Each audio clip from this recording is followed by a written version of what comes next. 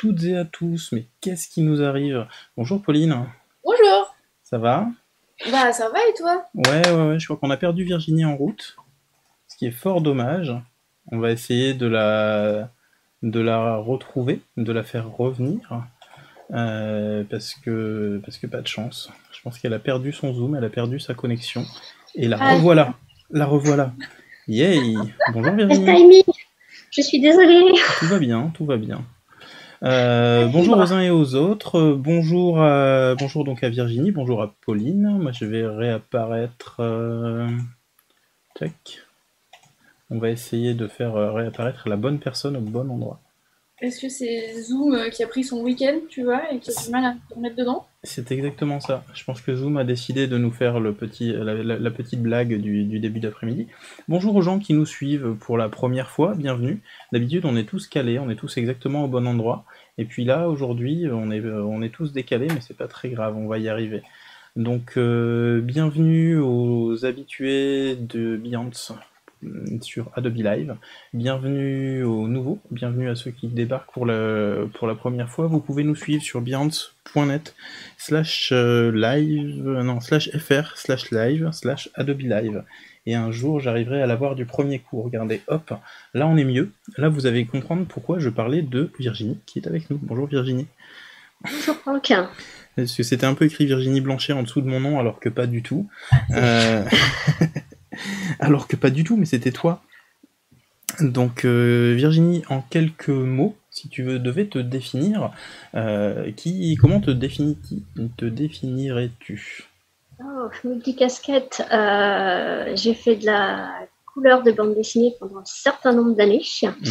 Jusqu'au moment où j'en ai eu un peu marre de ne faire que ça et que j'ai eu envie de voir un peu le monde extérieur. Donc, euh, c'est le moment où j'ai commencé à donner des cours. Donc, je suis passée de l'ermite dans sa cave à passer devant des classes de 30 élèves, voire plus. Euh, euh, à côté de ça, j'ai repris l'illustration pour moi, donc beaucoup, beaucoup d'illustrations en technique traditionnelle, D'accord. en opposition à tout ce que je faisais en numérique euh, pour euh, les éditeurs et mes euh, collaborateurs scénaristes et dessinateurs en BD. Mhm.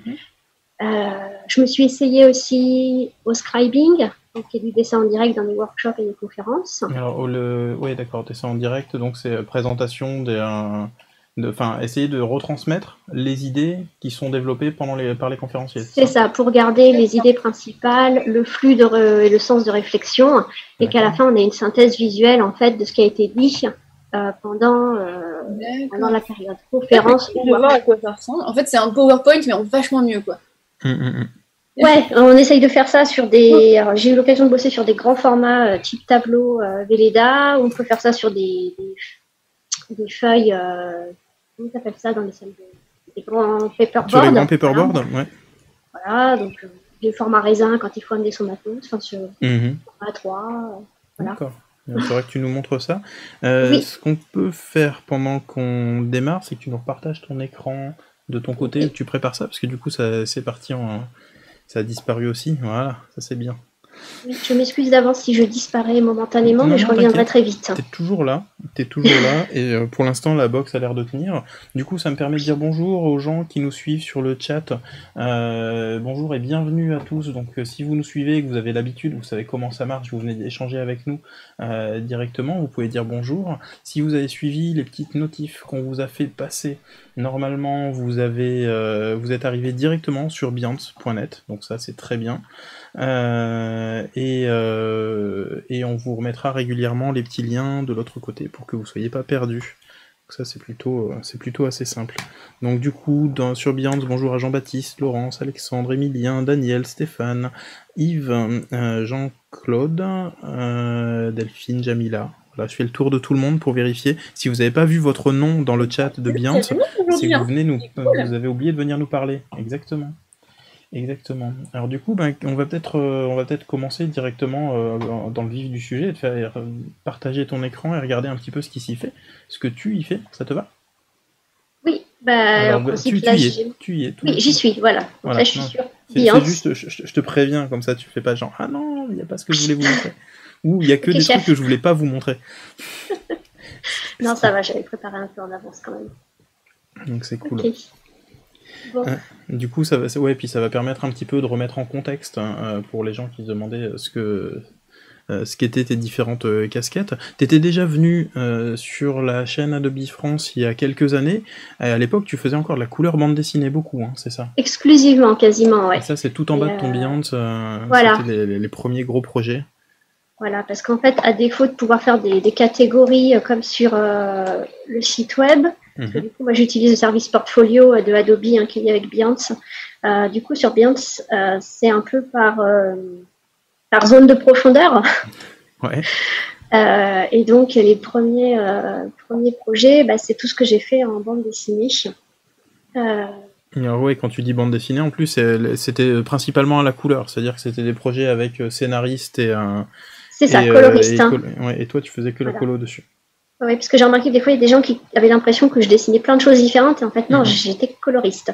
Euh, donc, euh, parce que, si je un des plus gros projets sur lesquels j'avais commencé à travailler, ça avait été euh, Waterloo 1911, euh, qui était une uchronie historique où en fait Napoléon n'avait pas perdu à Waterloo, et du coup, ça avait changé le cours de l'histoire avec sur un fond de l'enquête policière.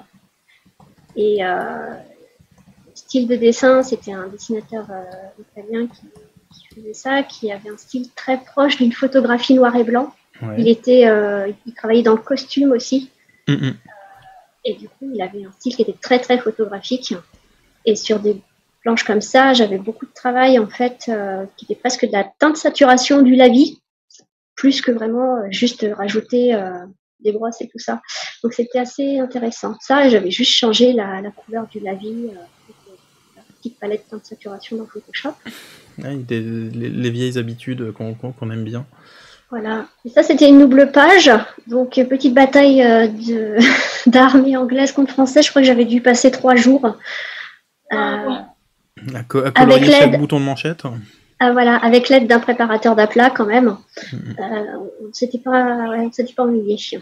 Et du coup, quand c'est euh, sur des projets comme ça, c'est en, c'est en numérique ou c'est directement. euh, Donc non, tout ça, c'est sur euh, Photoshop. Donc moi, j'étais exclusivement euh, coloriste numérique.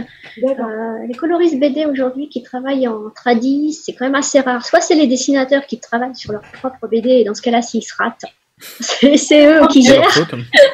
c'est leur faute, ils réussissent, c'est très bien aussi. Euh, après, il en reste quelques-uns, mais je crois que c'est plus des vieux de la vieille qui ont vraiment une très grande habitude euh, et des, des- voilà, des, des BD un peu particulières. D'accord. Et du coup, pourquoi ça prend trois jours? C'est parce que c'était une planche qui était quand même très, Très longue à faire, très détaillée. détaillé Ouais, si tu Beaucoup regardes, t'as de les personnages. costumes, hein. T'as Ouais. plein de plein de costumes, plein de. Ouais, puis au début, je m'étais trompée, j'avais inversé les armées, alors. Ah oui, non, mais alors là, tu Ah cherches bon aussi. Ah ouais, non, là, je cherchais les ennuis. Le truc historique. euh, ouais. Ouais, ouais. Voilà. Mais ça Et peut être comment long à faire, hein. Comment ça t'est venu euh, Comment t'as commencé cette carrière? Parce que toi, c'est- du coup, c'était un gros morceau de ta carrière, si j'ai bien compris. euh. Oui, et ben, comment j'ai commencé euh, Comment complète- t'arrives enfin, à faire ça? complètement par passion parce que euh, à la base moi j'ai une formation de designer euh, textile donc euh, tout ce qui était couleur matière ça me passionnait j'adorais tout ce qui était manga BD tout ça mais j'avais jamais pensé que j'arriverais à quelque chose et puis en fait j'ai passé beaucoup de temps sur le forum Café Salé euh, et c'est là que j'ai découvert le métier de coloriste de bande dessinée. Donc ça m'a fait super, les deux se rejoignent. vous savez, vous avez l'étoile qui apparaît. à un endroit, trop bien. C'est ça. Et, euh, et euh, ben, j'ai commencé à faire un exercice sur des planches et des illustrations que les dessinateurs mettaient à ce moment-là. Euh, puis de fil en aiguille, j'ai fait un book. J'ai démarché les éditeurs sans me poser de questions. Et quand je revoyais mes trucs un an après, je me dis, oh mon Dieu, mais je leur envoyais ça, c'est mauvais. et puis en fait, on progresse comme ça. Et euh, ça s'est fait de fil en aiguille. euh, De, de fil en aiguille, t'es venu comme ça. Alors attends, je vais faire une petite copie. ça charge. Du coup, j'ai quand même fait ça pendant une douzaine d'années. Avec quand même Ouais, de, la- de la vraie motivation. Ouais, de la vraie motivation. Et puis dans des styles un peu différents. Ça, par exemple, c'était quelque chose que j'aimais bien aussi. La boîte à bulles. Quelque chose de plus en aplat, plus. Voilà. Qui était un one-shot euh, plus roman graphique. Mhm. Avec euh, Isabelle Bautian et. euh, comment s'appelait mon dessinateur? Jean-Michel Schmitt, je crois.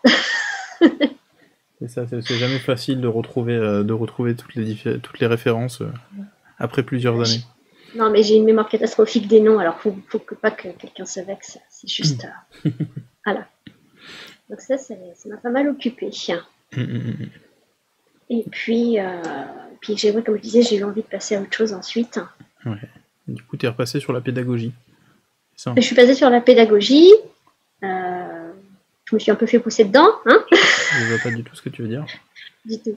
Mais, euh, mais ça s'est plutôt, plutôt pas mal passé. Et au fur et à mesure que je faisais de moins en moins de BD, je reprenais de plus en plus le dessin pour moi.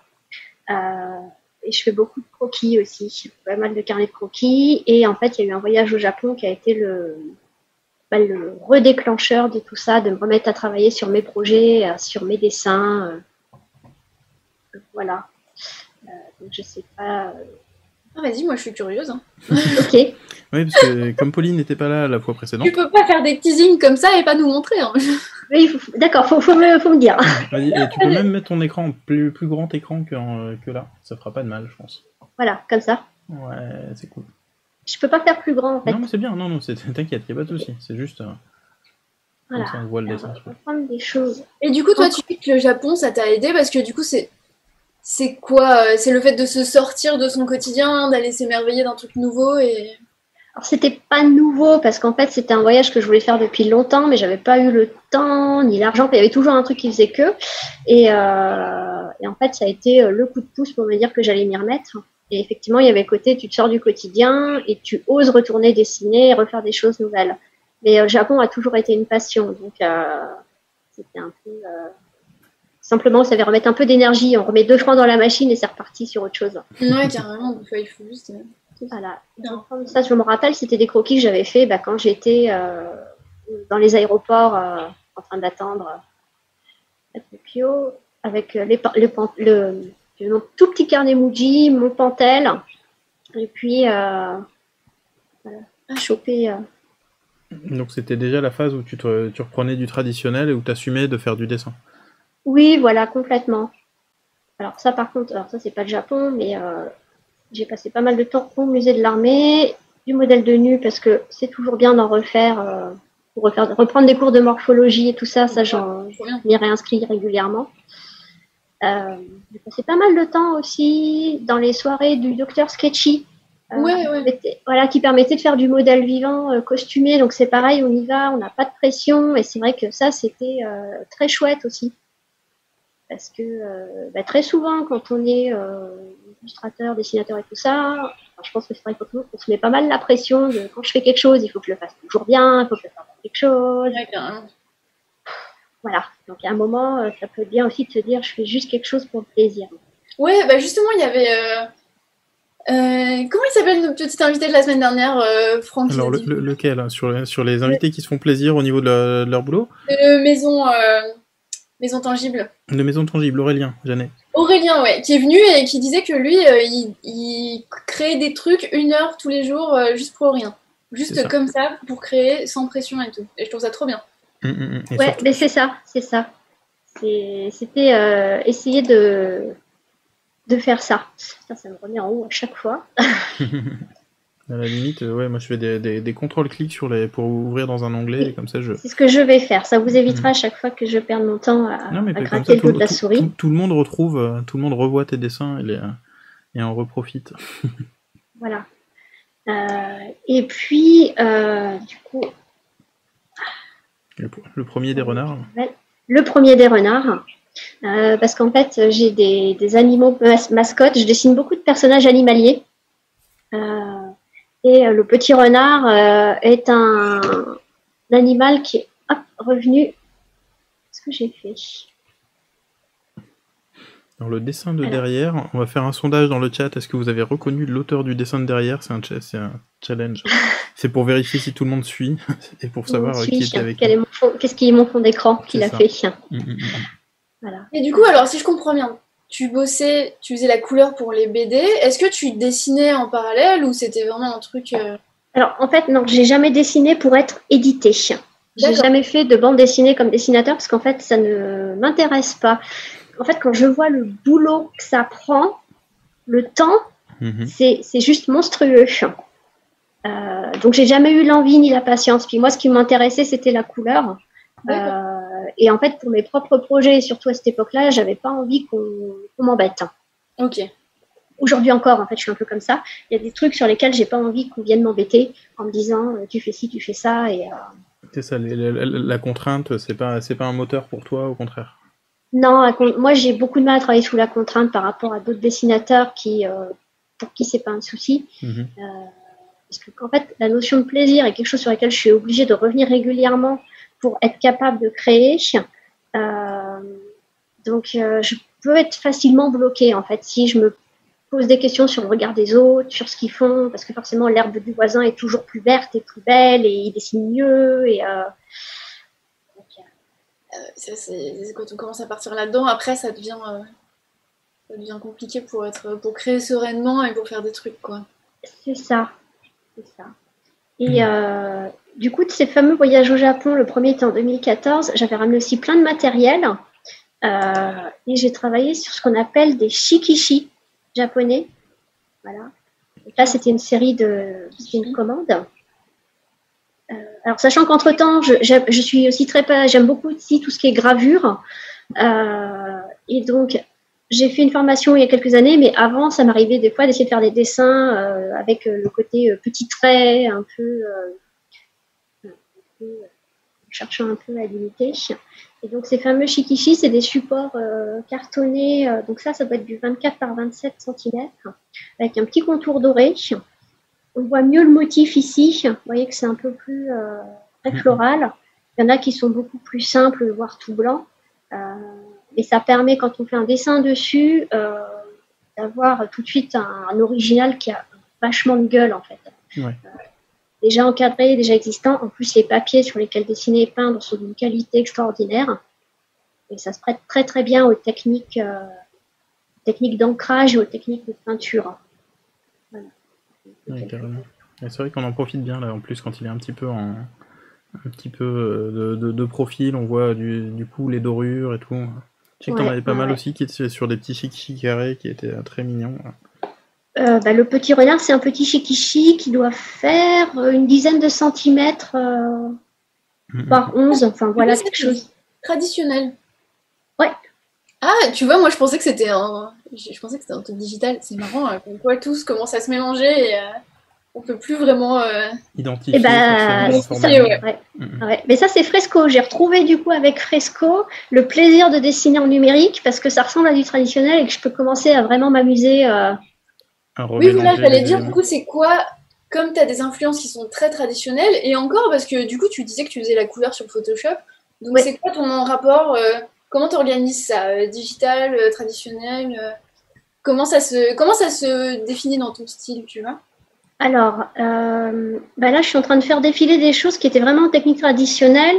Du coup, je vais répondre à ta question au fur et à mesure, parce que là, en fait, j'avais refait euh, Madame Renard en fait en version couleur, euh, parce que ça avait été une, euh, une commande telle quelle. Ça, je vais les ouvrir. C'était un mélange avec de la sérigraphie, de la, pas de la sérigraphie, de la linogravure, pardon. Linogravure et crayon de couleur sur du papier. Euh, alors, de la linogravure, on rappelle, euh, pour ceux, c'est quand on, grave une plaque, c'est ça, et qu'on l'encre, et après on en fait un espèce de tampon. Mm. Et du coup, ça, ça, donne des trucs super graphiques et tout, c'est super chouette la linogravure. Euh. Voilà. Et du coup, l'avantage, c'est que comme on peut en produire plusieurs, bah, on se dit, c'est pas grave si je rate mon dessin, euh, il m'en reste cinq derrière où je peux tester autre chose. C'est ça, tu peux faire des séries. Donc, c'est hyper libérateur aussi, le côté, c'est pas grave si je me loupe et euh, alors. Ouais, si tu te loupes une fois, tu es capable, t'as une série. C'est ton côté Warhol qui veut ça. Mais comment ça. si tu te loupes sur ta linogravure Alors la linogravure, ça va, mais c'est plus parce que par exemple, là j'ai montré une version euh, avec ces, avec ces monstres-là. Ouais. Mhm. Je suis très inspirée par tout ce qui est yokai en fait au Japon, donc tous les, les monstres, euh, mythologie shinto et tout ça. Ouais, tout le folklore, tout ce qui est euh, avec euh, Shigeru Mizuki, tout ça. Voilà, il y a de ça. Euh, bon, clairement, euh, tout ce qu'a fait aussi euh, Miyazaki, dans Mononoke Hime, ça, ça fait partie des choses qui m'ont marqué comme tout le monde. Enfin, à différents niveaux, ou en tout cas, ça m'a beaucoup parlé. Est-ce que j'ai celui-ci? Que j'avais fait d'autres? Hein, variantes. Voilà. Là, c'était la variante totale. je teste un peu en écriture automatique aussi. Mhm. Et on voit ce qu'il en sort. Donc. oui, à partir du même tampon, tu, tu, fais des, tu fais des extensions de ce que vous n'avez pas vu. Enfin, quel est le contexte du dessin? Ouais, voilà. Donc ça, c'est un, c'est Hanya, c'est un, un yokai. Enfin, c'est plutôt un oni, une sorte mhm. d'ogre féminin, qui est le symbole de, qui est souvent le symbole de la, l'ogre de la femme en colère, en fait. Donc c'est un truc qui est pas sympa. Ce qui explique que dans certains cas, il y a des dessins un peu sombres, mais ça m'a permis de tester euh, plein de techniques. Euh, et puis le support pouvait, en fait, c'était des feuilles que j'avais récupérées d'un côté qui était euh, glacé lisse, de l'autre qui était du carton. Et euh, là, ça fait des aquarelles qui sont flottantes. Euh, là, ça fait, ça fait de l'encre qui, quand on la mouille, euh, baffe complètement. Mhm. voilà, ça permet de faire des séries, de tester. C'est intéressant parce que du coup, tu fais à la fois des coups de tampon qui reproduisent ton truc, mais en même temps, tu les rends aussi uniques. Donc, c'est intéressant. Si c'est ça. si tu les... as quand même une pièce unique à chaque fois, et c'est cool. Ouais, ouais, complètement. Puis ça permet de tester des trucs euh, en toute liberté. Donc là, pour l'instant, c'est sûr que ça, c'est des parties où le numérique n'intervient pas. Euh, je reviendrai peut-être sur ces dessins après, parce que tout ça, sont ils sont vraiment uniquement en tradition. Euh, des dessins où j'ai fait plus intervenir le numérique. Ça va être par exemple celui-ci. Alors du coup, c'est bête parce que j'ai pas forcément les étapes avec moi, mais je vais vous montrer. Alors ça, c'était un, un, dessin que j'avais fait, euh, parce qu'en fait, il y a une chanteuse que j'aime beaucoup, qui est Cécile Corbel. C'est un univers plus breton, plus celtique, et j'avais eu envie de faire un, voilà, quelque chose qui changeait totalement de mon univers, sachant pourtant que là, les corbeaux, c'est quand même inspiré euh, d'un motif japonais, euh, parce que j'ai récolté pas mal de choses au fur et à mesure des années. C'est un motif qu'on trouve sur des kimonos. Et donc j'ai fait mon dessin à la gouache. Euh, et en fait, je m'étais trompée sur les couleurs du ciel, la mer, ça allait pas. Et ben, du coup, c'est quelque chose que je vais scanner, je vais retoucher dans Photoshop. Et il y a des éléments que j'ai découpés et que j'ai retravaillés pour faire des premiers plans flous, pour donner de la profondeur. Donc c'est comme ça que par exemple, là, du coup, je vais faire intervenir le numérique. Ok, c'est marrant parce que du coup, comme tu pars d'une base euh, qui est très organique et un vrai truc à la gouache, on sait pas euh, qu'est-ce qui est vrai, numérique et tout, tu vois, la frontière elle est hyper euh, subtile et je crois que c'est là où c'est chouette en fait. Mais ce qui est, par contre, c'est vrai que pour l'instant, moi, je suis pas capable, enfin, en tout cas, je m'en sens pas capable d'obtenir une base où il y a des textures comme ça, là où on voit que c'est de la gouache, que euh, directement sur ordinateur. Il y en a qui y arrivent très bien avec des brosses, mais moi j'ai besoin de partir d'une base, euh, base physique, quitte à ce qu'il y ait plein de plein d'erreurs. Ouais. Euh, est-ce que celle-là, j'ai mis les étapes? Oui. Donc ça, c'est une, une, illustration que j'ai faite pour une boîte de thé pour la librairie Le Renard Doré, un thé de Noël. Et donc c'est un grand dessin que j'ai fait à la gouache mais j'ai fait beaucoup de retouches numériques après, justement. Alors, est-ce que j'ai la version? Non, j'ai pas la version 100. Donc, en fait, pour vous expliquer, euh, j'ai mis beaucoup de temps à me décider sur la couleur du cerisier sur la version gouache. Donc, tout ce qui est neige dessus, euh, les flocons ici, tout ça, ça a été rajouté sous Photoshop. Euh, la prolongation également sur les côtés, ça n'a pas l'air, mais il y a beaucoup de copier-coller pour réussir à allonger correctement l'image. Pour pouvoir récupérer, le, récupérer le volume du, du pot, de la, de la, boîte de, la boîte Exactement, ouais, ouais, tout à fait. Et euh, voilà, et dans Photoshop, avec euh, ma, ma, palette préférée, qui est celle de la teinte saturation, j'ai pu rééquilibrer aussi les verts, les couleurs, et faire quelques retouches avec les brosses de Kyle Webster gouache, mmh, notamment voilà sur la végétation du fond, pour essayer de redonner un petit peu de, de volume. Et puis là, par exemple, je suis partie, c'est un, un, ça c'était la, voilà, ce côté euh, pour présenter le, titre. Euh, je suis partie d'un dessin d'un miroir que j'ai chez moi, qui est un miroir de ma grand-mère. Ok. Le croquis a été fait au critérium. Euh, j'ai fait quelques recherches sur les. Parce que là, du coup, de ce côté-là, on me demandait donc, ambiance japonaise pour l'illustration et ambiance Angleterre 19e. Donc, du coup, moi, j'ai pensé tout de suite à William Morris mm. pour venir chercher des, arabesques. Euh, et ça a été monté dans Photoshop. Mais j'avais besoin de garder le croquis au crayon d'abord. parce que sinon, j'arrivais pas à le faire correctement Ouais, tu as besoin d'avoir ta base, euh, la, base qui te permet de retrouver un petit peu tout ça. Ouais, voilà. Mm. Donc c'est toujours un, mélange. Euh, mais j'ai souvent besoin de partir du, papier. Oui, du coup, tu pourrais conseiller à ceux que ça impressionne un peu de commencer là, quand ils lancent. Moi, j'ai investi dans l'iPad ce week-end, ce que je disais, et du coup, quand tu lances euh, Fresco, c'est hyper intimidant. En fait, c'est à la fois hyper mm. intuitif. En fait, on a juste envie de bidouiller toutes les textures. Mais partir de rien, c'est aussi vachement dur d'arriver à un truc structuré. Alors que je pense que tu as raison, si tu pars d'un truc qui est déjà dessiné, qui est déjà. Tu sais où tu vas, après, bah, tu bidouilles par-dessus ça, donc d'un fil, quoi. Donc, je pense que, du coup, toi, c'est comme ça que tu t'en sers.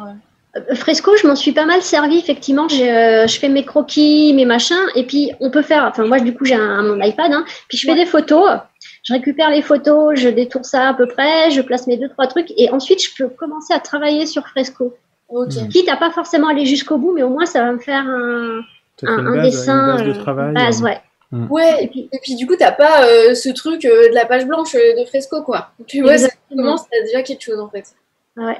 Et puis en plus, comme on peut récupérer les, les éléments de Fresco dans les documents web de Photoshop, voilà, je peux aussi, si je veux, du coup, passer, euh, faire encore une correction, faire des premières recherches, euh, je sais pas, de graphique, si j'ai besoin de mettre du texte, je peux l'imprimer, je peux retravailler sur ma table lumineuse. Donc j'ai un flux qui est très, euh, très disparate, mais en fait tout fonctionne via, voilà, entre l'iPad et les. Ouais, via les cloud documents. ouais, ouais, j'utilise beaucoup ça. Mm, mm, mm. Là, c'était toujours pour le renard doré, j'ai beaucoup travaillé avec eux sur les derniers mois. Je leur ai fait la carte de vœux. Euh, à la base, tout ça, c'est de la gouache sur un 4. Euh, et tout a été retouché sous Photoshop. Et j'ai rajouté notamment les feux d'artifice mmh. après. Ok. C'est vraiment beaucoup qui se mélange. C'est ça. Donc euh, voilà, beaucoup de mélange dans ma façon de, de, faire.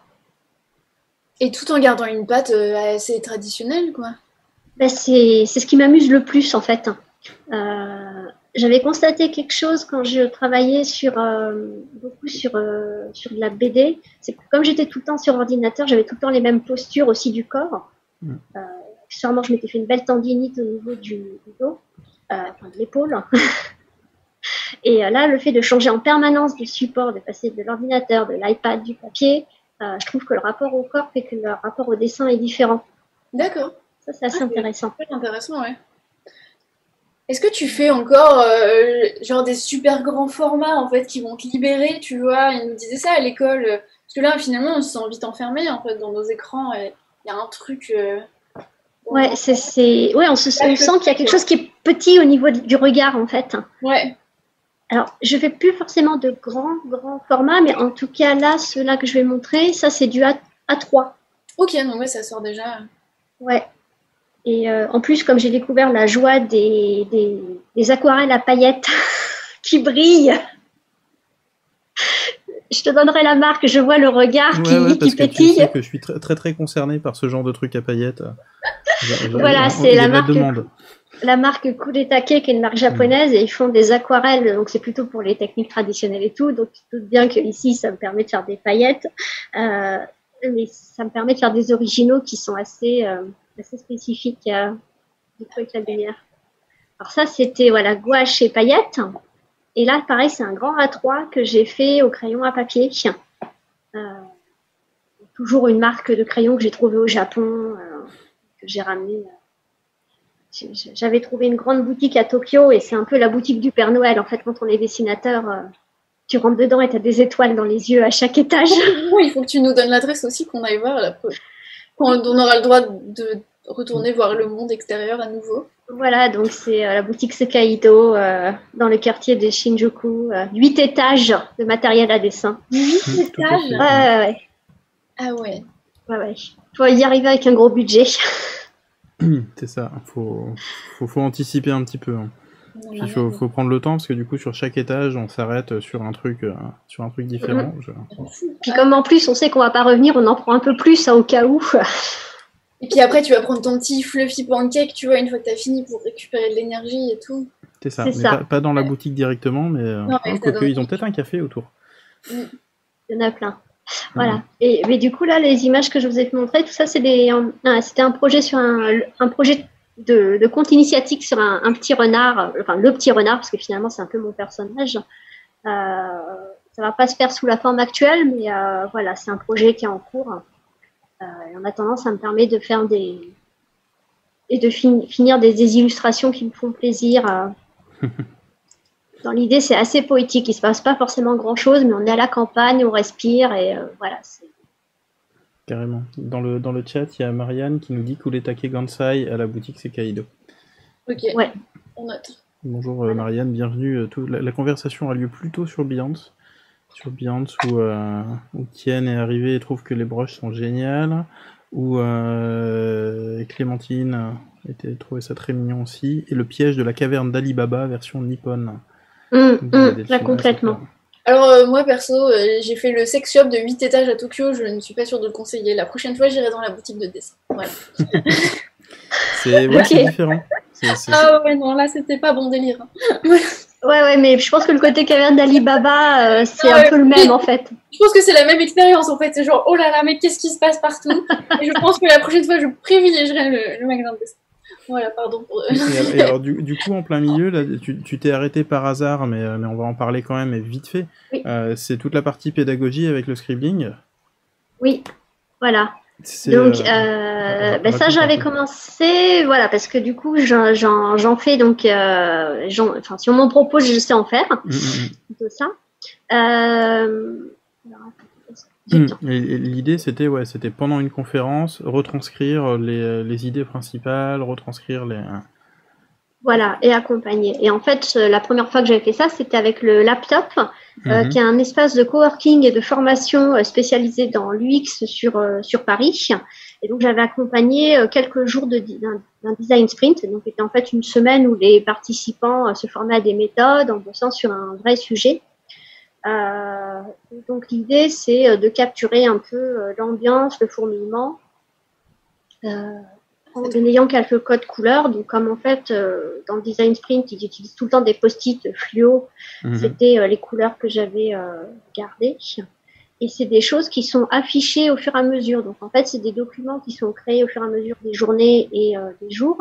Et les participants et les gens qui sont là, on les voit, les consulte, peuvent les prendre en photo. Donc, ça a vraiment un but de communication et d'échange. Ah, c'est trop bien. Puis ça fait un super bon souvenir en plus. Euh. Voilà. Bah, c'est un, ça permet visuellement aux gens de, marquer les choses. Donc, ça, là, j'accompagne. Et puis, euh, voilà. Donc, là, c'était mon petit matériel. Euh.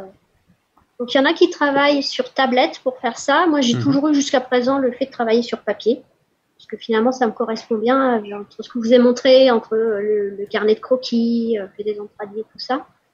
ce qui est intéressant avec cette partie-là, c'est qu'on est un peu en retrait. En fait, on est juste une paire d'oreilles. Mhm. On ne participe pas du tout. On écoute et on retranscrit. Donc, une heure et demie, ça peut passer tellement vite parce qu'on est très très concentré. c'est assez intéressant. Et tu es obligé de te renseigner sur le sujet en amont, tu es obligé de, comprendre un peu ce qui va se faire. Ouais, ouais. Donc il faut quand même effectivement voilà, réfléchir un peu euh, et préparer euh, en avance. Euh, après, il y a des choses sur lesquelles j'avais un peu plus improvisé. Je, vais commencer à fermer des choses. C'est ça, on t'a fait faire beaucoup d'onglets. Mm. Ah non, non, mais c'est juste que j'essaye de faire que ce soit pas trop moche après sur pas trop gratuit. Mais je sais que là, par exemple, euh, il y a des moments où en fait il n'y a plus de, de, paroles magistrales ou de conférences. Euh, ils vont plutôt être en workshop ou un petit nombre. Donc euh, bah là, j'avais décidé d'attraper les, les participants individuellement aussi. D'accord. Ça fait aussi des, des choses intéressantes qui sont très différents et c'était dans le même dans la même session que ce que j'ai montré juste avant avec les post-it. Mm-hmm. Oui, le laptop, euh, toi Pauline, tu connais aussi, parce que c'était là qu'on s'était rencontrés au Meet the Talent. Euh, non, moi j'y suis allée après, mais du coup, oui, c'est vrai qu'au laptop, ils organisent Meet the Talent. C'est quoi C'est une fois par mois, une fois par trimestre? Alors en ce moment, c'est pas du tout. En ce moment, c'est pas du tout, mais normalement, et c'est vrai que je vous invite vraiment à aller voir parce qu'en en fait, il y a les conférences qui sont après filmées et diffusées sur la chaîne de Adobe France. C'est ça, hein Pas de bêtises. et généralement aussi, euh, vous faites un peu l'update euh, des, outils, euh, des nouveautés. Et moi, j'y allais. Bon, il y a les pizzas gratuites, c'est vrai, mais c'est surtout l'occasion de rencontrer les gens du milieu de la créa parce que dès qu'on se met à parler, tu vois, on a eu Aurélien la semaine dernière et en fait, j'avais déjà rencontré à Meet the Talent. Mm, mm, mm. Donc en fait, quand vous êtes un peu créa, moi, je vous conseille d'aller à ces événements-là parce que c'est là que vous allez rencontrer les gens d'Adobe, les trucs, ils vont vous proposer des, peut-être de venir, des lives. En fait, c'est être à ces endroits-là. Et c'est vrai que du coup, le laptop, euh, moi, je connaissais pas du tout euh, le scribing là. Et c'est assez marrant qu'il fasse appel à toi. Enfin, y a eu, on voit qu'au-delà de lui, qu'il y a une vraie démarche euh, d'apporter du créatif, un truc visuel, quoi. Mm, mm, mm. Voilà. Donc, ça peut fonctionner. Après, moi, je me suis pas spécialisée dedans. Euh, mais c'est probablement aussi parce que en fait j'ai beaucoup d'envie et beaucoup de choses qui me plaisent à côté, donc euh, c'est toujours. Euh, j'ai tendance à comment dire, j'ai du mal à me concentrer sur une seule chose à cause de tous mes centres d'intérêt. Mmh, mmh, mmh. après voilà, c'est une façon différente d'aborder. Le c'est de pas choisir. Hein. Le but c'est de faire tout ce que j'aime. Ouais. le, le luxe ce Donc ça, ouais, ça c'était toute une phase hein, justement où tu es, passé là-dedans beaucoup. Et là, plus récemment, tu t'es revenu carrément à du, euh, à du tradi, à des choses, euh, à du, du, dessin pour toi. Ouais, ouais, ouais. Euh, et qu'est-ce que j'ai fait récemment? Bah, Là, je vous avais montré. Il y a un projet aussi que j'aime bien. Toujours sur le Japon. Du coup, Stéphane dit les Meet the Talent sont co-organisés par le laptop et Adobe. Donc, c'est vraiment un truc. Ouais, ouais. On, travaille avec eux sur ça, on échange sur les artistes avant, après. Voilà. Alors ça, c'est euh, projet en cours. Euh, ça se développe tranquillement. Il devait y avoir une expo au mois de mai, euh, mais bon, avec notre, notre actualité à tous, ça a été un peu décalé. Ça. donc ça, c'est mes petits yokai que, que, je retravaille un peu à ma façon, avec toutes les photos que j'ai faites au Japon quand j'y suis allée plusieurs fois, euh, bah, j'ai ma documentation. Ça, mm. c'est très important. Ouais, on en parlait euh, la semaine dernière. La documentation, c'est quand même un peu le cœur du, le, mm. cœur des métiers où tu es sûr de pouvoir euh, retrouver, où tu passes du temps à anticiper mm. ce que tu vas faire plus tard, c'est ça et du coup, c'est quoi quand tu parles de documentation C'est des photos C'est des. C'est des photos, beaucoup. Parce qu'en fait, euh, bah, à un moment, quand on veut des, voilà, des références de posture, des références de décor et tout ça, il faut pouvoir. Euh, on peut pas, enfin, moi, je peux pas imaginer tout ça. J'ai besoin d'images. Euh, mais j'aime pas utiliser les images des autres. Ouais, ouais. Sauf, voilà, si je quoi, Tu commentes avec ton iPhone et dès que tu vois quelque chose, tu captures et euh, tu te fais une banque. Oui, ouais, ben, en fait, j'avais, euh, j'ai un appareil photo, un réflexe que je sors uniquement quand je suis en voyage là-bas. Et du coup, euh, ça me permet de, de, rattraper pas mal d'images et ensuite que je vais travailler et trier dans Lightroom. Ouais. C'est, voilà. Comme ça, je peux séparer en architecture de l'ambiance, de ce qui va être plus motif ou végétal. Comme ça, c'est des choses dans lesquelles je vais pouvoir venir piocher au fur et à mesure. Euh, ça permet d'attraper littéralement certains motifs. Euh, et du coup, je sais que je peux travailler dessus sans, sans m'inquiéter. Euh, voilà. Ouais, bah, bah, c'est vrai que ça, je le dis aussi pour les autres créatifs qui sont là, avoir toujours son iPhone, faire toujours, dès qu'on voit un truc, le prendre en photo, le mettre dans un dossier. moi, je sais que je prends les textures en photo. Tu sais, les murs qui se décomposent et tout. Alors, c'est marrant je suis euh, n'importe où dans le monde et les gens sont en train de prendre le paysage et en fait moi je suis à quatre pattes en train de prendre le bout de rouillé qui est super cool et en fait euh, je me suis fait un dossier comme ça et euh, dès que j'en ai besoin après je vais je vais retourner là-dedans et je pense qu'on a on a tous un peu ce, ce truc là de dès que tu vois un truc que tu as regardé différemment de le capturer et, et après t'en fais quelque chose ou pas mais juste il est dans un dossier et peut-être trois ans après, il y a deux neurones qui vont se connecter et tu vas en avoir besoin, tu vois. C'est ça. Bah, au Japon, t'adorerais parce qu'en fait, moi, j'ai ah, beaucoup de temps à aller photographier la mousse sur les, voilà, exactement. sur les vieilles lanternes. Oui, ouais, non, mais exactement. C'est des, des, trucs super random et en même temps, c'est ça qui est trop bien maintenant avec les iPhones et tout, c'est que tu l'as toujours dans ta poche. T'as pas, pas besoin d'avoir ton réflexe de qui coûte une blinde, qui pèse 30 kilos tout le temps, tu vois. Ouais, ouais. Donc ça, ça peut se présenter n'importe comment. Du coup, voilà, je trouve ça super intéressant que tu en parles et que tu, tu ouais. qu'il y ait cette dimension-là dans tes dessins, tu vois. Ouais, ça et puis euh, beaucoup de livres aussi comme référence parce que tous les motifs que j'utilise, bah, j'ai en fait j'ai énormément de livres euh, sur du design textile euh, japonais, sur ce qu'on appelle le shiogami. Donc shiogami c'est le terme en fait pour parler de patterns, de motifs qui étaient imprimés sur les kimonos. Ok. Donc alors je pense que comment dire comme j'ai enfin j'ai fait des études en japonais, donc j'ai une mhm. base culturelle et en langue, mais comme j'ai pas poussé, il y a des choses sur lesquelles je suis ignorante et je pense que j'utilise certains motifs en dépit du bon sens. oui. Tu veux dire que tu respectes pas la tradition japonaise oh, Je ne respecte certainement pas la saisonnalité parce qu'on sait que la saison au Japon c'est le truc au niveau des couleurs, des motifs et tout ça. Je pense que je respecte pas trop. Mais euh, bon, voilà, dans l'ensemble, euh, il y a des choses. Euh, je me suis encore jamais fait jeter de cailloux, donc je me dis ça va. Tout va bien. C'est pas la saison. Ils sont trop polis pour te le dire, de toute façon. C'est ça, si t'es pas réinvité, tu sauras pourquoi. Exactement. Et du coup, euh, question super random comme ça, mais ça te plairait pas euh, d'y vivre? Euh... Comment nourrir son univers Ah non, comme touriste, c'est génial. Très bien comme touriste. pas pour y vivre, non. Non, mais moi je suis d'accord avec toi, mais je suis curieuse, tu vois. Non, non, non, c'est euh, comme ceux qui me posaient la question quand, euh, vous savez, quand on est un peu jeune, un peu fan de manga, ah, tu vas pas aller vivre au Japon être mangaka? Non.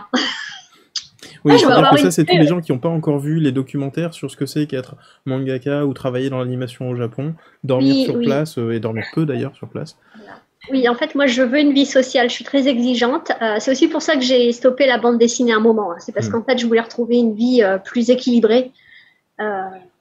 Ouais, bah je conseille, euh, bah toi tu dois connaître le documentaire là, euh, comment il s'appelle euh, Hiro Master of Sushi là, le mec qui fait ses sushis comme un fou toute sa vie. Toute sa vie dans son, dans, qui fait que ça d'ailleurs et qui. ah non mais regardez ça quoi, c'est juste incroyable, c'est le mec est fou, mais mm, c'est mm, mm. hyper passionnant en fait qu'il soit fait par ça, mais du coup oui je, le mec est fou. Bah, c'est le principe de la passion d'ailleurs. Ouais, mais c'est super bien. Et en même temps, c'est une culture qui est aussi très comme ça. Donc je comprends. Euh. Il y a des gens que ça dérange pas, mais moi, je veux avoir une vie comme ça parce que des fois, je, me, je vous disais, quand il y a le côté de l'herbe plus verte chez le voisin, euh, bah, en même temps, le voisin, il passe peut-être beaucoup plus de temps de sa vie euh, à maîtriser des outils et tout ça. bon, bah, moi, je peux pas me plaindre d'être moins bonne techniquement si la moitié du temps en question, je le passe avec euh, ma famille, les amis ou euh, aller faire des ah, croquis fleurs. Hein, franchement. Merci la famille, c'est pas sympa. Hein. non mais c'est vrai quand on voit euh, le musée Ghibli là que t'as les originaux, c'est fou quoi. Enfin tu dis. Ouais ouais je confirme par contre. Hein, je les ai vus, c'est vrai que c'est chouette. c'est incroyable. voilà. Et, du coup, oui, tu, parlais de, de, mise à jour et tout ça. Il y a eu plein, plein, plein de mises à jour là la semaine dernière. Euh, j'ai fait un sondage d'ailleurs dans le, dans le chat, savoir si vous avez fait gaffe aussi sur votre Creative Cloud, tout ce qu'il y avait de nouveau. Euh, et que vous avez pris le temps d'explorer un petit peu, parce qu'on a eu du neuf euh, dans Fresco, dans Photoshop, dans, dans Lightroom pour les photographes, dans les outils vidéo. Des nouvelles icônes. On a... Des nouvelles icônes. Ouais. On ne va pas relancer le débat, mais. On va pas parler des nouvelles icônes. Pardon. Ouais. Euh, bah, du coup, et puis il y a deux choses aussi encore que je peux présenter peut-être. Vas-y, vas-y, ouais, carrément. Euh, toujours dans la lignée du Japon. Euh, alors, je vais commencer par l'étegami. Parce qu'en fait, je sais pas pour vous, moi, j'ai eu un blocage créatif pendant la période du confinement. Oui et la façon que j'ai trouvée pour me libérer, ça a été justement euh, relâcher la pression et faire des choses pour le plaisir. En fait, j'avais rejoint un atelier d'étegami en ligne. Alors, l'étegami, en fait, c'est l'art de la carte postale japonaise faite à la main et volontairement maladroite. Donc, c'est-à-dire pas de pression technique. Alors, bien sûr, quand on est dessinateur, on est quand même meilleur que quelqu'un qui tient jamais un crayon. Ouais. Euh, ça permet de faire des choses qui sont plus spontané. Voilà, spontané. Donc, vous voyez un peu comment ça défile. Et donc, les sujets qui sont pris, c'est des sujets du quotidien. Donc, en gros, ça va être les fleurs que vous avez euh, cueillies pendant euh, votre heure de promenade. Mhm. ou alors les légumes du frigo ou les, le, bac à fleurs du balcon. Euh, mais c'est quelque chose de, de, quotidien et de autour de vous. Et l'idée de l'étegami, donc on le fait à la main. Euh, on commence par faire euh, donc à l'encre de Chine un dessin avec un trait qui est très vivant et, des, et avec du tremblement. Donc en fait, c'est pour ça que quand on peint, en fait, ce que j'ai, voilà, hop, ça c'est, on imagine que c'est un pinceau. On va peindre en dessinant comme ça, avec le coude levé. Donc c'est hyper inconfortable. Et donc à la fin, vous allez forcément avoir de la vie dans le trait, mm. des accidents. Sur le lendemain. J'ai eu des courbatures les premières fois. Ah, Et voilà, mais du coup, c'était euh, c'est quelque chose d'assez sympa. On laisse sécher, donc le format c'est du 10 par 15 à peu près. Donc euh, en France, moi j'avais fait ça sur du papier aquarelle, mais au Japon ils ont des cartes spéciales qui peuvent envoyer après un peu d'aquarelle une fois que c'est sec, posé, vous voyez, en, en aplat, on déborde pas et on marque un petit message à la fin.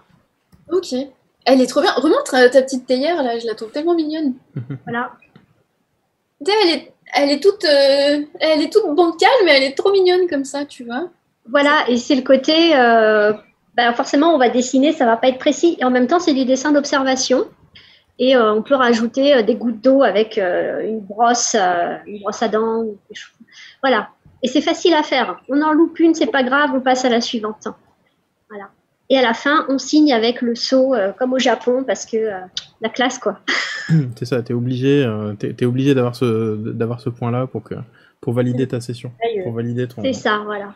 Et euh, du coup, j'en profite parce que je veux quand même en parler. Euh, l'atelier avec qui j'ai fait ça, c'était euh, l'atelier de l'association euh, Art et Pigments du Monde qui est tenu par Valérie Egucci. Mhm. Donc, vous trouverez, en fait, il y a toutes les infos sur ici dans mon pam.overblog pour l'instant. Voilà, au pigment et artdumonde.com. C'est ça. Voilà. Il y a des filles qui demandent est-ce que les cartes postales japonaises ont un format particulier? C'est à peu près du 10 par 15 cm. Du coup, c'est à peu près une carte postale française, mais. Ouais, c'est ça. Sachant que là, euh, je les ai pas encore reçues, mais j'en ai commandé au Japon parce que la différence, c'est que c'est beaucoup plus absorbant et ça évite les, les problèmes d'encre de Chine qui, alors c'est très technique, hein, mais euh, qui, qui, qui, qui, sèchent en surface et qui bavent quand on met ensuite de l'aquarelle. Hmm. Euh, ouais, voilà. Bref. Et il y a Clémentine qui dit beaucoup de charme, ce trait lâché.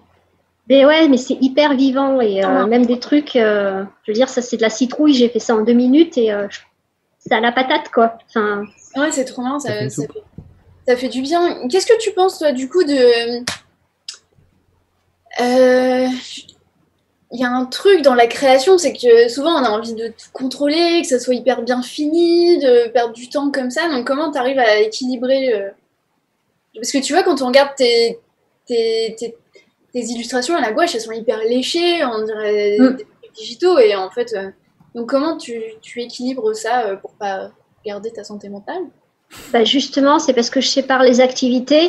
Et les Tegami, en fait, moi j'ai découvert ça en faisant les ateliers. Donc on avait commencé via Zoom, mais je crois que les ateliers se poursuivent par Zoom. Donc ça, vous pourrez toujours contacter euh, l'association. Euh, il y a quasiment une demi-heure d'exercice au début à la main pour faire un quadrillage où on est avec son pinceau, en train d'essayer de faire les lignes hyper lentement. Et, et en fait, c'est presque le, ça devient presque méditatif. Ok. Euh, le résultat, c'est important, on va dire, mais c'est, ça fait partie d'un tout.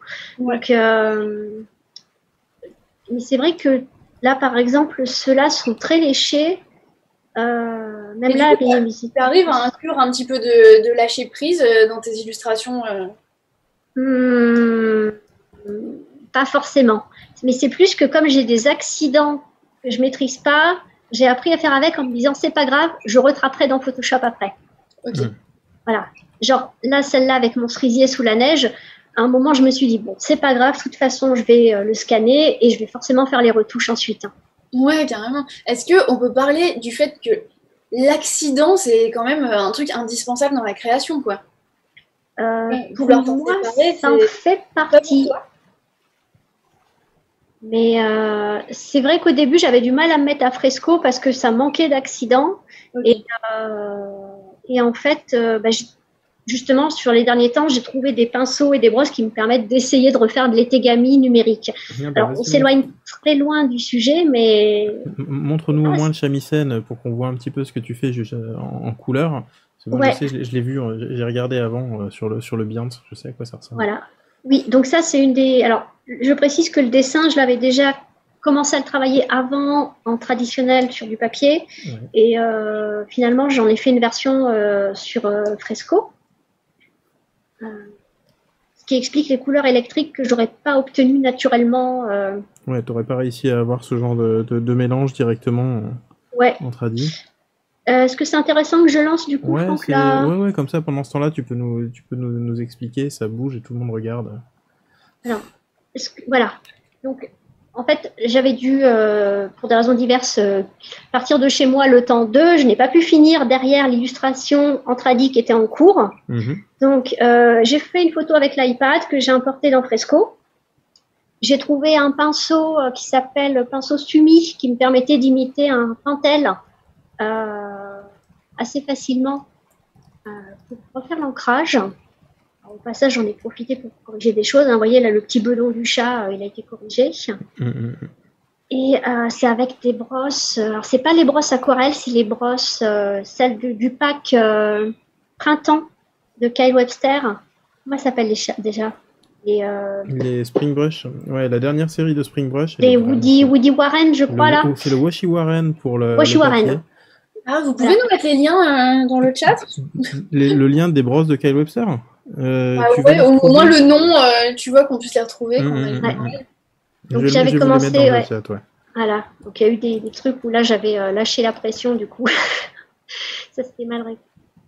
Ah, voilà, j'ai toujours un gros travail de motif parce que bah, formation, tout ça, intérêt, donc ce qui fait que c'était parti pour mettre du motif sur tout le, sur tout le kimono.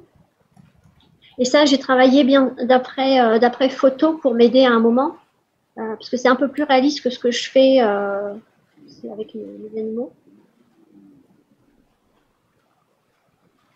Et c'est là où j'ai mixé en fait ce que j'ai fait sur les dernières années en technique tradi et ce que j'ai fait en tant que coloriste BD. Alors du coup, c'est drôle parce que des fois, j'avais des réflexes de coloriste de Photoshop qui me revenaient sous Fresco, alors qu'en fait, c'est pas le même logiciel. Donc, il y a d'autres façons de faire qui sont pas les mêmes. Ouais, il y a, encore des, euh, il y a encore en fait un, des trucs auxquels on pense rarement quand on est sur Fresco, c'est le lien en direct avec Photoshop sur iPad aussi.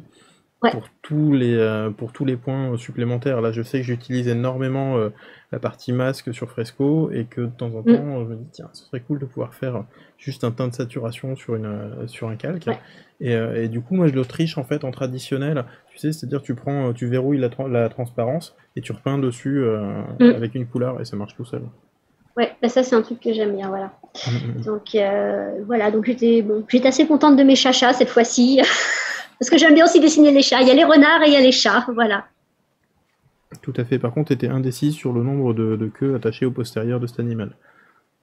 Oui, bah, j'ai décidé que c'était des, c'est des, voilà, c'est des Nekomata, c'est des chats yokai, donc ils ont deux queues. Voilà, c'est des chats magiques. Pourquoi ils ont deux queues euh, en fait, la légende dit que les Nekomata sont des vieux chats domestiques qui, euh, qui après la, soit la mort de leur maître, soit après un certain âge, euh, deviennent des monstres, donc, enfin, monstres yokai, et que du coup, pour les distinguer des chats normaux, bah, ils vont avoir deux queues. Voilà. Et accessoirement, euh, ils deviennent très gros avec des grandes dents et c'est pas super sympa de les croiser le soir, euh, la nuit dans une ruelle. Ok. On n'a jamais dit que c'était sympa les, yokai japonais. Ah oui, non, mais... C'est ça, il faut voir euh, si vous aimez les yokai japonais et que vous n'avez pas encore vu Pompoko de Miyazaki, ah, enfin, pardon, de Takahata. Désolé. c'est dispo sur, sur votre abonnement télé favori maintenant depuis deux mois. Ouais. Pour ceux qui ont l'occasion. Euh, ben, je peux peut-être essayer de montrer s'il me reste 5 minutes. Ouais, vas-y, vas-y. Voilà. On a quand même passé une demi-heure à configurer ce truc. Voilà, euh, je vais voir si le vecteur va bien fonctionner pour montrer. Là aussi, j'avais vu une vidéo YouTube euh, de la youtubeuse Manon Bril qui avait fait un petit documentaire sur ça, qui parlait de trucs. Vous pouvez aller jeter un œil. Elle, elle, parlait des plus, les les plus connus, entre guillemets, euh, avec toute la légende autour et tout.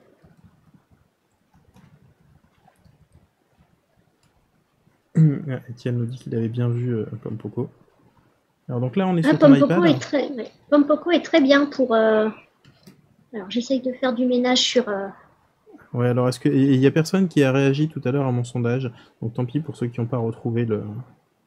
Pour ceux qui n'ont pas reconnu l'illustration de la fin. Si, je crois qu'il y a eu une réponse, mais elle a dû se perdre. Attends. Elle, s'est perdue dans le, dans le chat? Bon, c'est pas très très grave.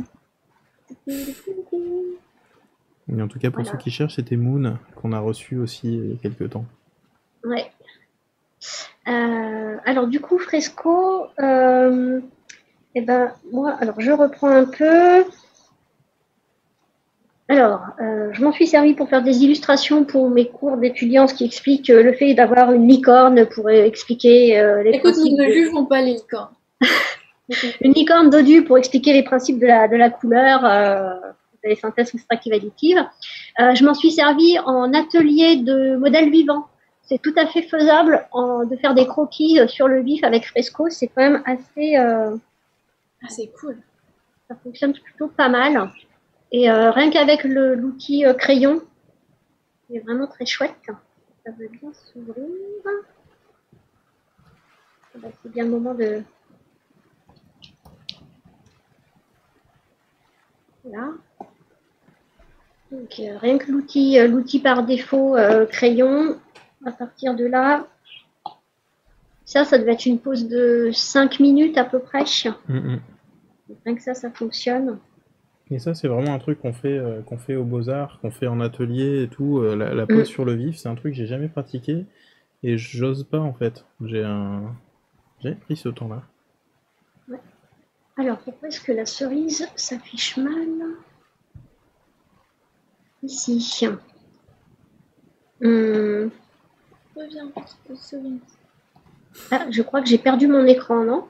Hmm, Pour l'instant, alors nous, on a toujours ton écran, on n'a plus ton, iPad dessus.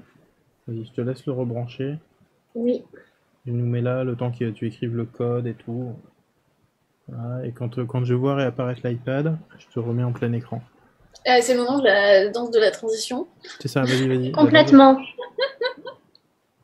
en sachant que Pauline a un super talent de danse de transition. Ah, mais ouais, regarde. J'ai l'impression que. Ok. C'est bon. T'es revenu? Non, là c'est Beyoncé. Non, non. Euh, pas d'iPad? Non, pas d'iPad du temps. On a perdu le réflecteur en route.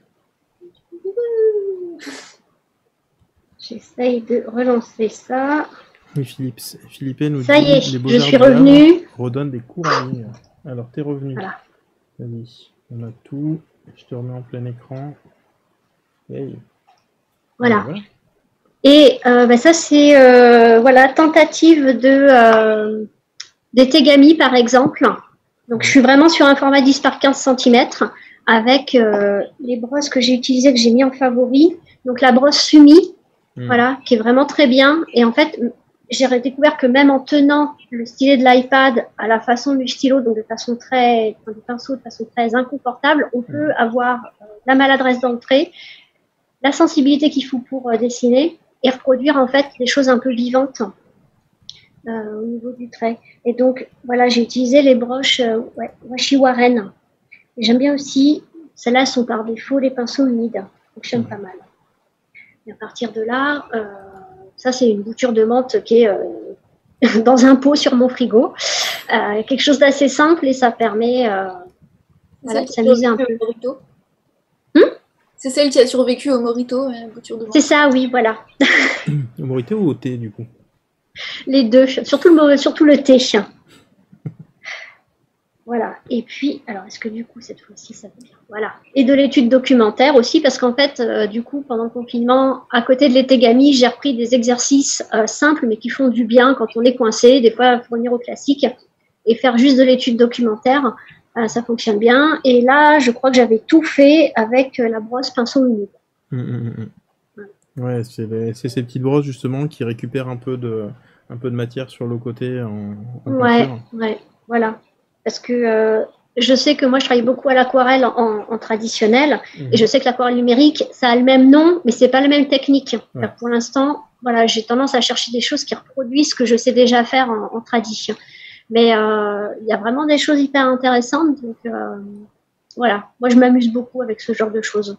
J'ai une question. Euh, J'ai une question, parce que tu vois, quand tu ouvres euh, Fresco, et il y a tellement de brushes et de possibilités et tout, tu donnerais quoi comme conseil pour euh, commencer et pas se faire impressionner par le truc? Ah bah, Déjà, le truc que je conseille, c'est de prendre euh, le temps sur un document de tester toutes les brosses. Et celles qui te plaisent, tu te les mets en favori pour être sûr de les retrouver. Ah, mm, mm, c'est mm. pas bête. Voilà. Juste ça, déjà, rien que tu testes tout. Euh, et puis, euh, moi, il y a un truc que j'aime bien faire, mais alors c'est totalement gratuit et c'est juste parce que c'est joli. Euh, on, a, on peut faire de la peinture à huile. Hein, ça, c'est cool. Celui-là. Hop. Voilà. Et la peinture à huile, ben, je ne sais pas en faire dans la vraie vie. C'est une des rares techniques que j'ai pas testées. mais parce que ça coûte cher, ça sent mauvais, il faut de la térébenthine, enfin voilà. Ouais, là, c'est là, faut avoir un atelier, quoi. Tu fais pas ça le dimanche dans un coin, euh, vite fait. C'est ça. Mais du coup, avec Fresco, bah, tu peux euh, tester des trucs et c'est hyper reposant. Je trouve que c'est, euh, du coup, c'est pareil, comme on peut tester plein de choses, bah, c'est moins intimidant. Donc, voilà. Moi, ça m'amuse. Ça, permet de tester, découvrir un peu comment faire des, des choses. Ouais, alors pour ceux qui sont intéressés aussi en termes de technique, il y a Kyle Webster donc, qui a fait la moitié des brosses et des pinceaux que vous pouvez utiliser, qui fait régulièrement des lives sur Adobe Live aussi. Donc faut pas hésiter. Euh, ouais, il a fait pas mal de live streaming, il a fait pas mal de, petites sessions justement pour euh, désacraliser un petit peu les, euh, les premières approches de brosse, différents, ah différents thèmes de dessin. Et tu peux nous partager ça aussi? Mais bien sûr, évidemment je vous partage ça.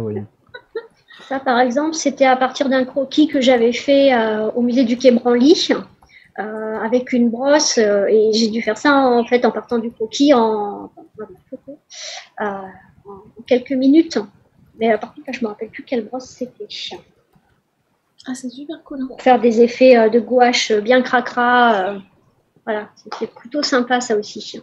Alors, il y a Delphine qui me euh, il, me semblait qu'on pouvait pas mettre de brosse en favori. Si, si, on peut mettre les brosses en favori. Hein. Vous avez une petite étoile derrière et ça marche tout seul. Hein. Euh, mm, mm. Oui, oui, ça, ça, fonctionne bien parce que sinon on s'en sortirait pas. Du coup, un gros gros rapport à l'expérimentation, tu vois, dans tout ce que tu nous montres et tout. Et t'aimerais pas euh, faire plus de trucs expérimentaux dans ton travail illustratif pour des clients? Pour l'instant, je sais pas. En fait, le truc, c'est que comme justement, je suis tellement dans l'expérimentation et que je fais pas forcément des trucs qui sont hyper propres, hyper léchés, hyper finis, euh, faut trouver les personnes à qui ça correspond. Et euh, ça, on me l'a fait remarquer, j'ai pas qu'un seul style graphique. Euh, j'ai encore l'impression des fois d'avoir la surprise de qu'est-ce qui va sortir comme style cette fois-ci. Ok. Alors, euh, et je pense qu'il y a des clients qui veulent euh, des choses très euh, je veux ça et il y aura que ça. Donc, je dis pas que je peux pas le faire, mais sur toutes ces parties-là, j'ai encore moi-même la surprise. Ouais. là, ce que j'ai mis à l'écran, c'est par exemple quelque chose que j'ai encore expérimenté ce matin, c'est avec les mêmes brosses, hein, la brosse Sumi pour le trait noir et Washi Warren pour le reste. moi, j'aime bien des choses comme ça qui sont juste en ambiance et finalement, il y a peu de, peu de détails et c'est un peu brutal, un peu brut peut-être comme dessin, mais je trouve que ça marche bien. Donc, euh, voilà. Après, c'est peut-être une histoire de rencontrer les clients qui, veulent ce genre de choses ou les équipes qui sont intéressées. Je pense que c'est aussi l'intention, tu vois, quand tu, si tu commences à mettre ça comme étant un produit fini dans ton portfolio, avec euh, des exemples de là où ça marche, en fait, euh, là, les clients vont voir que ça marche. Donc après, c'est plus une question de tu dis, bon, allez, j'y vais. Euh. c'est ça. Tu, devrais nous euh, passer sur la partie exporter celui-là et nous montrer les étapes. Euh, Alors, exporter. partager. Faire l'accélérer. L'accélérer. Comme, ça, je te force pas à dessiner en direct. C'est vrai, chien. C'est sympa quand même. Permet de voir un petit peu les différents, les différents moments. Voilà. Bah, celui-là, ouais, c'est. Ouais, c'est un peu saccadé chez nous, mais c'est pas très, très grave. Ça va, c'est passé Ouais, ouais, ouais, je pense que vous avez. ça, c'est l'option qui est sympa aussi sur Fresco, hein, quand ça reprend euh, point par point les. Alors, j'étais. Voilà, option d'accélérer, la, la, dernière option tout en bas. Ok. Ah, et du coup, tu fais partager. Voilà, et puis tu peux prévisualiser quand tu cliques sur la flèche au milieu. Mais c'est trop bien. Ouais, je suis assez d'accord. non, mais ça, tu fais une petite story Instagram, euh, ça y est, ça t'a pas pris de temps et t'as du contenu. C'est ça, c'est ça. Et c'est cool, et les gens aiment bien voir le process. Ah, c'est trop bien. Ok. Ça fait partie des trucs vraiment chouettes. Hein. Stéphane nous disait aussi euh, de rappeler qu'il y avait moyen de faire des live, de, des live streams pardon, dans l'affichage, avec l'affichage des outils, euh, mais euh, il faut demander, il faut poser la question, parce que sur Behance, en fait, on a moyen de mettre les projets, on a moyen de mettre euh, les images en story depuis le, téléphone. Et euh, il y a une histoire de partager en live stream ce que vous faites. Donc partager soit euh, Photoshop soit Fresco etc mais par contre faut, faut demander faut montrer pas de blanche d'abord. Faut montrer les dessins tout ça. Mais il y a moyen. Il y a moyen. Faut aller chercher un petit peu. Mais c'est voilà. très intéressant.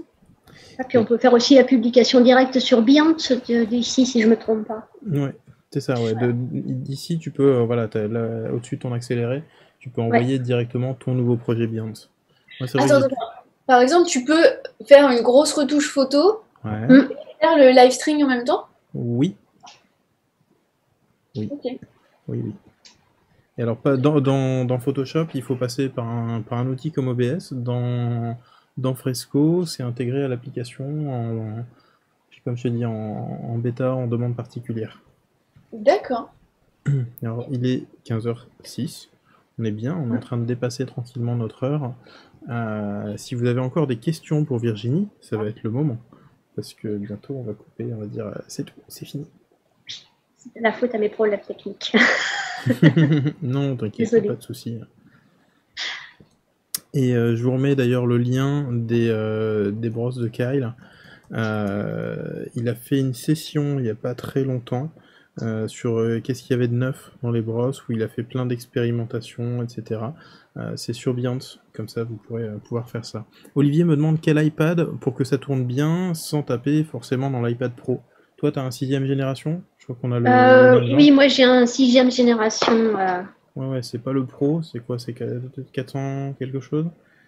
Je ne sais plus. comme ça. Et, Là, je l'ai acheté l'an dernier, donc voilà. J'avoue, moi, je viens d'investir ce week-end, mais j'ai pris un pro d'il y a deux ans, du coup, il était un peu moins cher.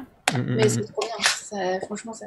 Et pour ceux qui auraient des doutes, si vous avez une tablette genre euh, Cintiq Compagnon ou euh, les euh, surfaces mobiles, il y a moyen aussi que ça fonctionne. En fait, il faut qu'il y ait du tactile en natif à l'intérieur de l'OS. Donc ça marche sur les produits Windows. Et non, ça marche pas sur Mac. Ok, c'est l'option bureau. Et je vous ai remis le lien du coup pour la, découverte des brosses. Écoute, merci, merci beaucoup d'avoir partagé tout ça avec nous. Merci à vous dans le chat sur les, tous les gens qui ont, qui ont échangé. Euh, je peux donner plus pour pouvoir effacer après. Les pinceaux, ouais, c'est un peu l'idée. On peut, on peut masquer des tas de choses à la fin et on peut revenir sur les dessins Philippe. Merci beaucoup, euh, Pauline. Merci, Virginie. Merci. Merci, merci beaucoup. Merci, Virginie.